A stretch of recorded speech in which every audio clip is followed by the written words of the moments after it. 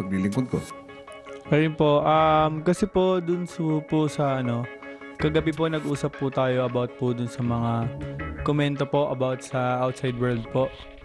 So yun po, parang may mga hindi lang po na clear doon tapos parang may parang may wall po. So ayun po, parang hindi ko po alam if ewan ko, parang gumugulo lang sa utak ko po. So yung sa ano po, yung sa issue, yung sa mga yung sa bakla issue ganun. Hindi ko po alam if ganun basta ang hirap po pala nag-hate. Anong ibig mong sabihin, Fifth? Pumasok po ako dito dahil may pangarap po ako, pati po sa pamilya ko. Um, pangarap ko po na, syempre po, kasama dun yung mag-artista, umarte, kumanta, sumayaw, mag-host. Yun po kasi yung hilig ko po talaga, pangarap ko po talaga yon. Tapos po, bago po ako pumasok dito, nagko-commercial na po ako, commercial modeling po. Natustusan ko po yung kahit papaano yung mga kulang ko sa na tuition or napapautang ko po yung nanay ko dahil sa commercial modeling po. In, naisip ko lang po if i-clear ko po yung mga issue po about sa yun nga sa mga gender gender sa sexualidad um, baka po hindi ko na po maabot yung mga pangarap kong yun baka po matigil na po yung commercial modeling ko na malaki po yung naitutulong sa buhay ko po at buhay po ng family ko kung iibig po ako hindi ko po iisipin yung status ng buhay ng tao yung itsura ng tao or yung sexualidad ng tao. Kung gusto ko yung tao, kung mahal ko yung tao, mahal ko yun. Hindi ko iisipin kung ano siya. Basta naramdaman ko doon sa tao po. So, yun po yung paliwanag ko doon sa, sa issue po na yun. Siguro masabi ko po parang open-minded akong tao, ganun po. Hindi ko po alam kasi magiging reaction ng mga tao.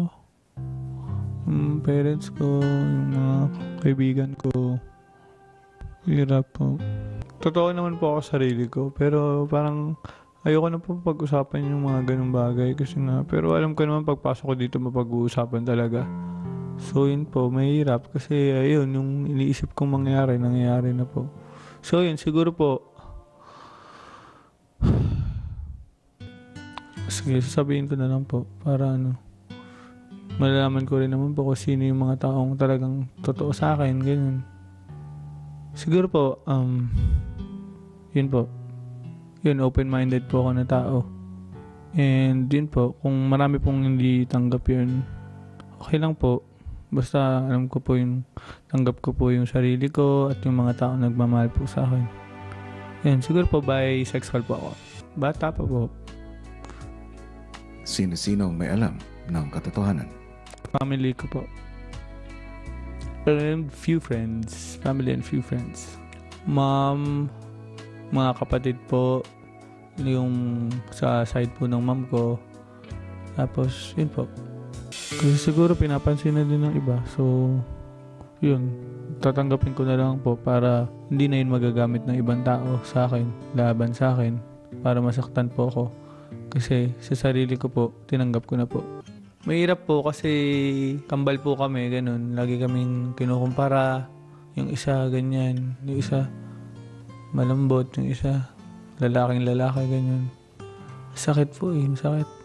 Ayun, ako yung laging na kaganon, nahusgan.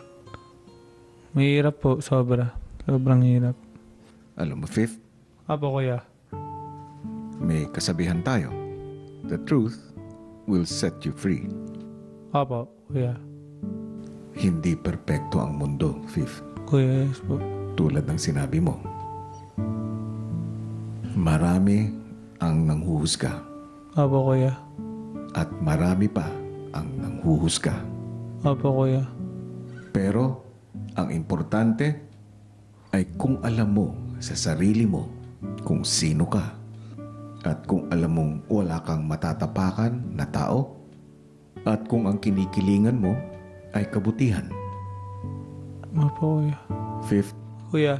gusto kitang pasalamatan sa pagtitiwala mo sa akin na maibahagi ang katotohanan. Hingga rin po kuya kasi um, ayun nga, sinabi ko po kasi nagtitiwala po ako sa inyo. Hindi ko po naramdaman na parang pang show lang ganyan. Naramdaman ko lang na yun, na maiintindihan niyo po ako. Ma magagabayan niyo po ako. Kaya sinabi ko rin po talaga. Kasi syempre, ang hirap po, tumatakbo sa isip ko lagi.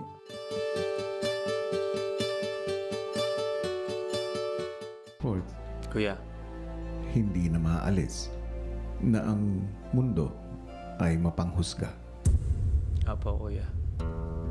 sa ugali, sa anyo, maging sa sexualidad ng isang tao. Apo, kuya. Maraming opinion ang maaaring sabihin. Pero ang mas mahalaga ang sariling pagtanggap kung ano ka, kung sino ka. Ikaw na rin ang nagsabi. Ang kapatid mo ay isang mabuting tao. Fourth, Kuya.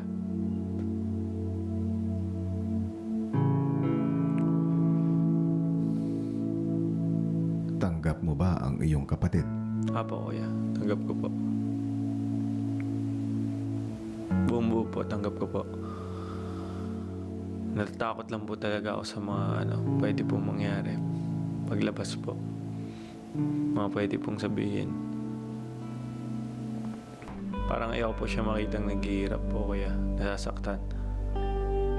Parang ano, kung pwede lang ano po talaga. Kung pwede lang saluhin din yung ano yung o pasanin din yung ano nararamdaman niya. Ano, kukuha po ako para lang po gumaan po. Sobra pong halaga sa akin ng kapatid ko. Pero kung kayang tapangan ni Fifth ang kanyang loob Apo. na harapin at sabihin ang katotohanan, dapat tapangan mo rin ang loob mo. At kasama nun ang posibilidad na masaktan.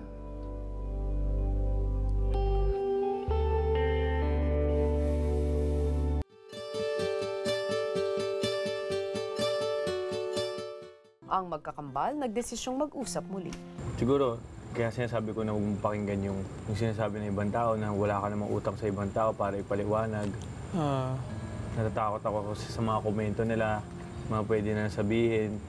Siyempre, pag nasaktan ka, masasaktan din kami, pamilya, mama, ako, kapatid.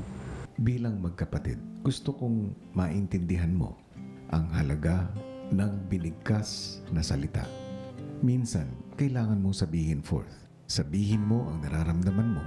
Pag galit ka, pag masaya ka, pag naguguluhan ka, para malaman ng kausap mo ang nararamdaman mo. Para malaman ng kapatid mo yung nasa loob ng puso mo. Apo, kuya. Yun, so natatakot din ako pero yun nga. Sino yun? Naisip ko din na ano, yung mga negatibo din silang komento, yung mangyari, hindi maalis natural sa mundo. yun. Na may mga negatibo talaga.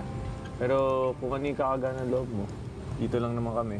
And yun, 100% naman, ano, sa likod mo ako, suporta dito para hindi ka maguluhan. Alam ko magulo na kasi utak mo. Kahit anong mangyari, nakasuporta naman po ako sa kanya. Kakambal niya ako, kuya niya ako, kadugo niya ako. So, kung ano man, yung magiging decision niya sa tingin niya tama, dito lang po ako. Sa akin yun. Basta kahit anong mangyari, wala namang magbabago. Suportado pa rin naman and ready ako kung anong mangyari. Kung paglabas o ano. Bilib naman ako sa lakas ng loob mo, sa tapang mo, ako sa akin. Hindi mo, wag, mo, wag mo na masyado isipin.